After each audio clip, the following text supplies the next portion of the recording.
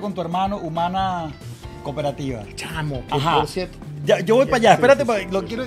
Eh, En la historia del cine mundial hay muchos duetos de hermanos Sí, es verdad, realizadores, es ¿no? No sé. Para comenzar con los Lumière, los Lumière, claro de que sí. cajón, eh, ¿cómo se llama? Total. La, Bueno, la- los- la del crucigrama, pues. Claro, Lumière. Le, Pero- Lumière que crearon el cine, después tiene Le Frères Dardin que son este, francófonos, ellos son belgas y también ta- los hermanos Cohen, los Morochos Rodríguez, que son hermanos también. La- las hermanas Wachowski, qué sé yo. güey. Yo las sí, hermanas que fueron sí. hermanos en un momento, sí, Claro.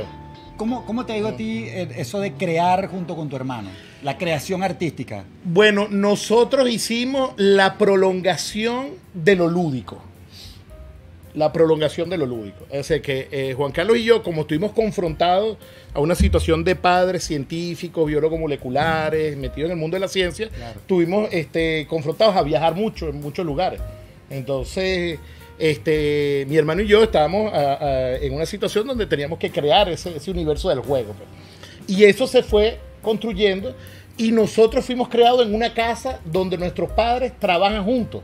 O sea que nuestros papás son, los dos son científicos y han hecho una carrera de investigación de más de 50 años y trabajan juntos como equipo de trabajo. O sea que nosotros crecimos en un modelo de padres que trabajan bajo el la mismo estandarte hacia el mismo fin. Y este, ¿qué nos pasó? Que cuando, cuando nos entra la fiebre del cine, Ajá. ¿Entiendes? Entonces nos dimos cuenta que era un espacio lúdico maravilloso. Juan Carlos es más del mundo de la música.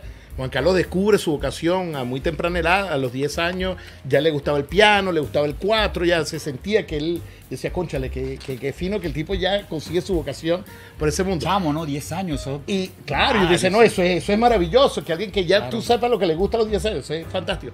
Y de repente cuando, cuando eh, este, tenemos esa encrucijada que nos vemos en el mundo del cine, no, esto es un terreno de juego maravilloso, aquí vamos a poder jugar y hacer cosas y crearse.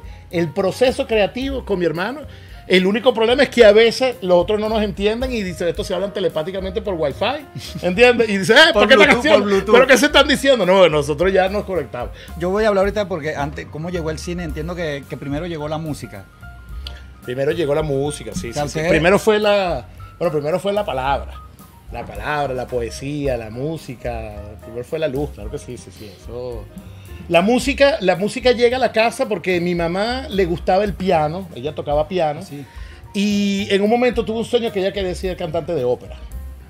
Ella, ella Antes- cuando era niña, cuando era niña, Antes de la este, ciencia. leyó primero antes de la ciencia, ella, ella, fue a un concierto y vio a Montserrat Caballé.